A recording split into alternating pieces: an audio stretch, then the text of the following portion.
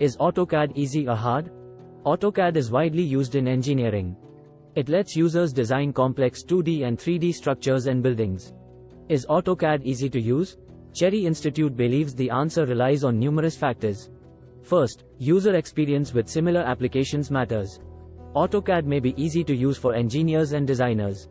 AutoCAD might be difficult for design novices. Second, the design project's complexity affects AutoCAD's usability. AutoCAD is easy if the project is simple.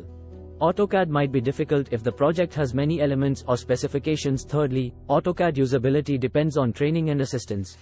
Cherry Institute offers complete AutoCAD training. Our instructors are AutoCAD experts who can teach students. This simplifies AutoCAD for our pupils. In conclusion, AutoCAD's ease of use depends on expertise, project complexity, training, and support. Cherry Institute believes that anyone can learn to use AutoCAD efficiently and effectively with the correct instruction and support.